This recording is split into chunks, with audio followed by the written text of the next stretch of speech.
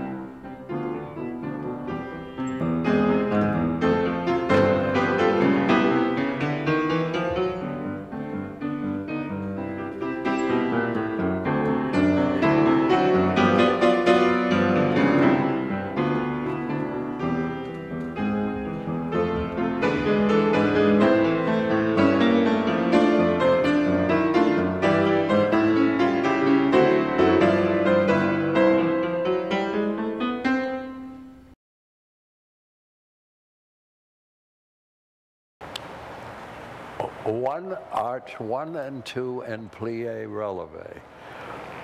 Curve your back, two, and plie releve.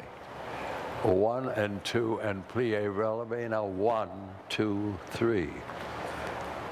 Arch, forward, curve, back, arch, forward, dum, bum, bum. Your left side. One and two, one and two, one and two, plie up one and two, one and two, one and two, plie up. Plie releve, each time plie releve, go backward, plie releve, now forward, plie, then plie releve, releve forward before you start. The arms are down, but they're slightly out, just stretched. And you go arch up, arch up, back up, arch up, straight forward on the last one. There is something that he said when I was a, I think I was still a student, uh, and it was in a workshop, and it really became like a guide for me performing his work. I use it um, as like an aphorism. So it's this thing that he said uh, that the dancer in his work, but I think he was saying just the dancer in general, is really valuable. When the dancer must walk a tightrope, and on one side of the tightrope is the step, which is how we put it, the step, but the movement, you know, the choreography, what, what the actions are. And on the other side of the tightrope is who the dancer is. Everything that makes that dancer a unique individual. We were passing through Texas and we saw a big sign over a church saying, all you can eat for $5 and 25 cents. So I said, oh, we must stop here. So we stopped, we all went in, and it was out of doors on, on tables, and it was actually very quite good food. It was plain, but you could go back if you want to and repeat. And I remember one of the dancers uh, ate five desserts. And as we were leaving, they all went out and I was paying the bill. And I said, it, thank you very much. It was a pleasure. And she looked very sternly at me and said, well, not all groups eat as much as yours.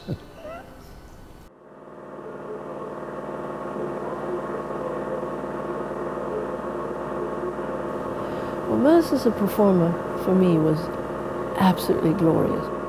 There was no question that he was committed to every single second.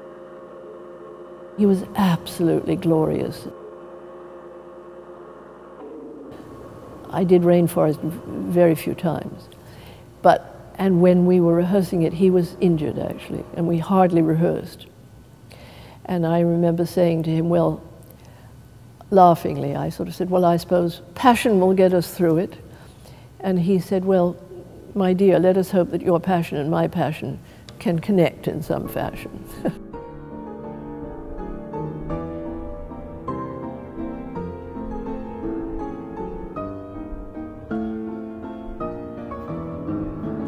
Jumping is really rhythm, I think, and knowing how much power you need in order to sustain a landing.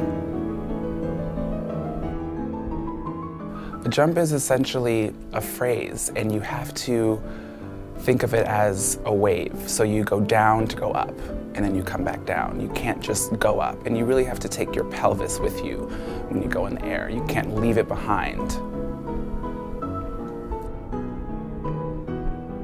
Either put trackers also in the middle or over here. But now it means that you have three separate groups. Right.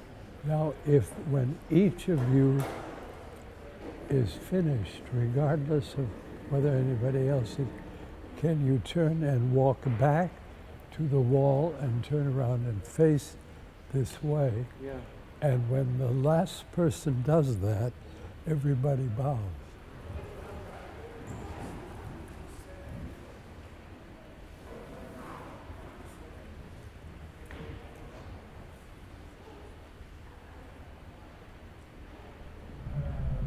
This is along with the musicians. All right. now, is, is there any question about this part? my note that I have on my board from. This is when my mother died um, on the opening day, July 4th. Uh, what year is it now? 2008, when I, we were opening Romeo and Juliet. Uh, my mother died, and I got this from Merce. Dear Mark, I am sorry to hear about your mother. She asked me to dance with her one time. I was forced to say no and have regretted it since. All the best, Merce. That's pretty good. And I'm sure she did. She was nuts and probably, you know, they were in Seattle. He was in his wheelchair and he said, she probably said, come on, Merce, let's have a dance. It's like, no, sorry. Anyway, isn't that good? Merce was a, was a doll and a friend.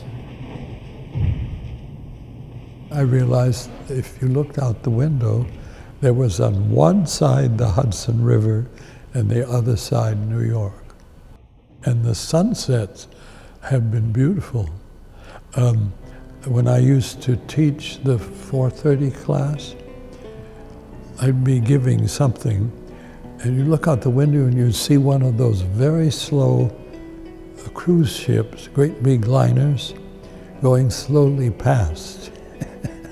Out the window, it was a marvelous view, and I would try to take its tempo and try to give something of the, uh, for the class with that tempo.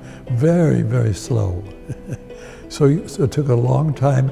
You'd see the front part out the front window. Then you'd wait a long time, and then you'd see it pass. Then you'd wait quite a while. Then you'd see the front again, and then eventually the whole boat. Finally, only the back end. And it was on its way, but so were we.